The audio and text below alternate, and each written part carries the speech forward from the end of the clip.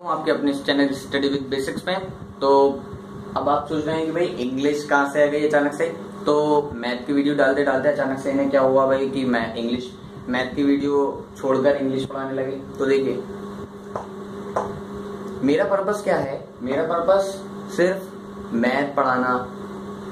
दूसरों को सिर्फ़ मैथ की बातें बताना ही है।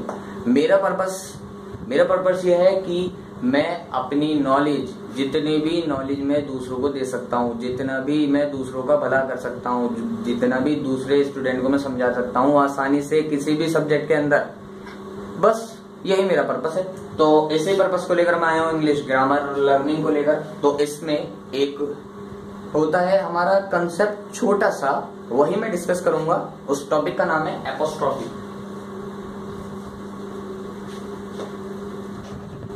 तो एपोस्ट्रॉफी की बात करने वाले थे हम? मार्कर को पसंद नहीं पता नहीं। एपोस्ट्रॉफी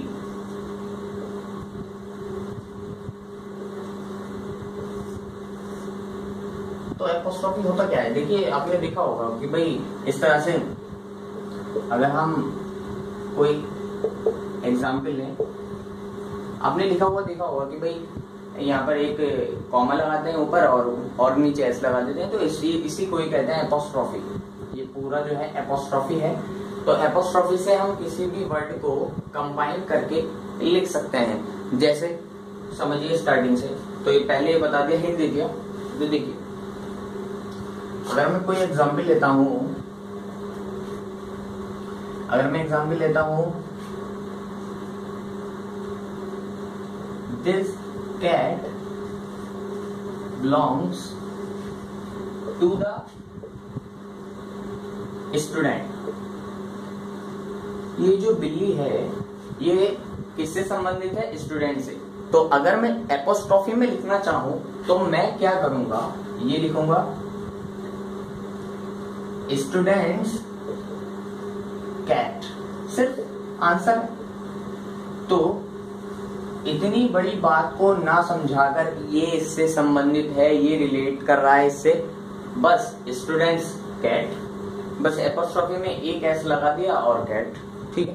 तो, तो बहुत बढ़िया रूल बना दिया। तो देखिए स्टूडेंट्स कैट ये बहुत सिंपल हो गया। ये क्या है? एपोस्ट्रॉफी एपोस्ट्रॉफी से बनाया एपोस्ट्रॉफी से।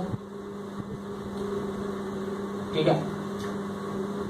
तो अब ये बात आती है इसके रूल क्या है? किस तरह से बनता है ये? ये सेंटेंस इस तरह से बना एपोस्ट्रॉफी के द्वारा। देखिए जो इधर हमारा ऑब्जेक्ट है या कुछ भी कह सकते हैं, इधर जो हमारा सब्जेक्ट होगा, उसको पहले लाएँगे और जो इधर होगा सब्जेक्ट उसको बाद में लाएँगे। बस, बन गया। कितना सिंपल रूल है भाई। यानी बाद वाले को पहले और शुरू वाले को बाद में। बस, देखिए रूल लिख लेते हैं। कितने अच्छे अच्छे रूल आते हैं दिमाग में। ये कहीं से पढ़ा थोड़ी है। तो अपने पास से बनाया भाई बाद वाले को पहले और पहले वाले को को बाद में। ठीक है? बस, ये याद रखना है, बाद वाले को पहले आएँगे, पहले वाले को बाद में लेंगे बस, ये रूल याद रखना है। जैसे ये रूल याद रखा, सारे क्वेश्चन सॉल्व होते गए देखिए एग्ज़ाम्पल लेते हैं। ठीक है? कोई अनदर एग्ज़ाम्पल ले लेते हैं। This bag belongs to your mother. तो ये जो बैग है, ये आपकी मदर से संबंधित है, इसका मतलब क्या है? योर मदर्स यानी क्या किया हमने? बाद वाले सब्जेक्ट को पहले लाए योर अब एपोस्ट्रॉफी का साइन लगाएँगे एपोस्ट्रॉफी एस बैग ये आपकी मम्मी का बैग है, इसका मतलब ये योर मदर्स बैग ठीक है? यहाँ तक समझ में आ गया, यानी बाद वाले को शुरू में लाना है और शुरू वाले को बाद में सॉरी शुरू वाले को बाद में लाना है और बाद वाले को शुरू में लाना है। बस ये रूल याद रखना है, इसके बाद कुछ नहीं अब देखिए वेरियस टाइप लेते हैं एग्ज़ाम्पल सबसे मैक्सिमम इंपॉर्टेंट रूल क्या है?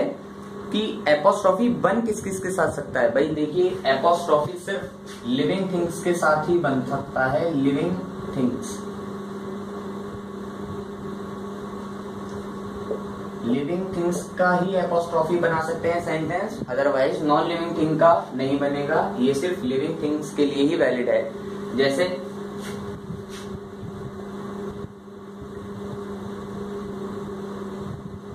the page is related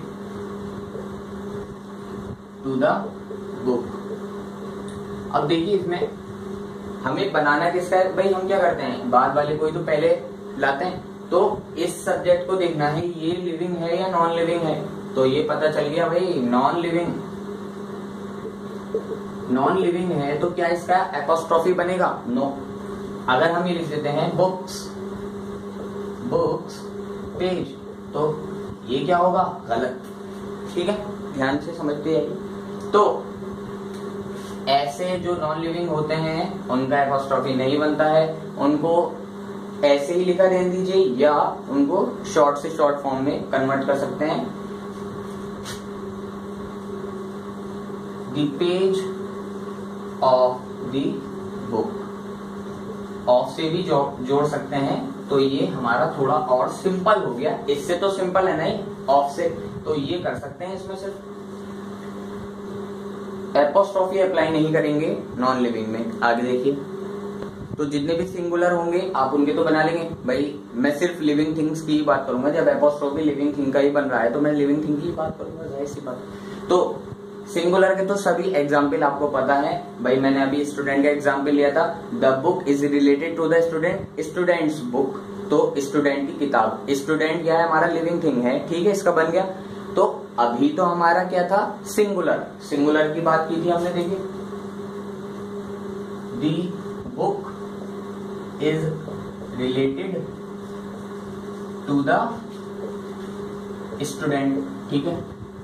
तो ये पहली बात चेक करनी है अपोस्ट्रॉफी बनाने से सबसे पहले कि यहाँ पर जो हमारा सब्जेक्ट है लास्ट वाले कोई तो शुरू में लाते हैं अपोस्ट्रॉफी बनाने के लिए। तो ये जो लास्ट वाला है, क्या ये लिविंग थिंग है? हाँ तो है। तो इसका बन सकता है स्टूडेंट्स स्टूडेंट्स बुक बन गया।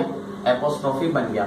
अब अगर बात आई कि book is related to the students बहुत सारे स्टूडेंट से रिलेट कर रही है बुक तो क्या करेंगे? देखिए ये क्या था? सिंगुलर सिंगुलर का तो रूल समझ में आ गया भाई. अब प्लूरल की बात करते हैं. अगर प्लूरल दे रखा हो तो, तो वो प्लूरल प्लूरल यानी एक से ज़्यादा. देखिए the book is related to the students students S आ गया। तो ये क्या है? एक प्लूरल है। प्लूरल तो इसका एपोस्ट्रॉफी किस तरह से बनाएँगे? भाई, बन तो सकता है ना, क्योंकि ये लिविंग थिंग है। लिविंग थिंग का बनाना है। लिविंग थिंग का बन सकता है, वो किस तरह से बनेगा? आपके समझ में आ रहा होगा कि भाई, ये लिखा एपोस्ट्रॉफी एस लगाया और बुक लिख दिया तो ये करना गलत है, अन्याय है और पाप है। ठीक है? ऐसा बिल्कुल नहीं करना है। तो करना क्या है? हमें लिखना है स्टूडेंट्स एपोस्ट्रॉफी लगाएँगे और बुक ठीक है? जब दो दो एस एक साथ आ जाए, समझ जाइए गड़बड़ है। तो एक एस को सिर्फ़ हटा देना है और हमारा जो बचेगा वो आंसर होगा। तो ये सही है, ऊपर वाला गलत है। दो दो एस एक साथ नहीं आ सकते, सिर्फ़ एक ही एस आ सकता है, उसके आगे एपोस्ट्रॉफी लगती है। जब प्लूरल्स इस तरह के हो, जिसमें एस से बनते हो तो उनमें एपोस्ट्रॉफी का रूल क्या है? दो दो एस नहीं लगाएँगे। सिर्फ़ एक ही एस लगाना है और एपोस्ट्रॉफी लगा देनी है। आगे देखिए और एग्ज़ाम्पल प्लूरल के बारे में भी समझ लीजिए। प्लूरल जब इस टाइप के हो, जिसमें सिर्फ़ एस लगता है लास्ट में तो तो वही रूल अप्लाई करना है, जो मैंने बताया। डबल एस नहीं आएगा, सिर्फ़ एक एस को हटा देंगे और एपोस्ट्रॉफी बन जाएगी। ठीक है? इसके बाद अगर सिंगुलर और प्लूरल इस तरह का हो एम ए एन और एम ई एन अब देखिए, इसमें किस तरह से एपोस्ट्रॉफी का इस्तेमाल करना है? एग्ज़ाम्पल सिंगुलर का लेते हैं। Book is related to the man तो ये सिंगुलर है तो क्या लिखेंगे सिर्फ़?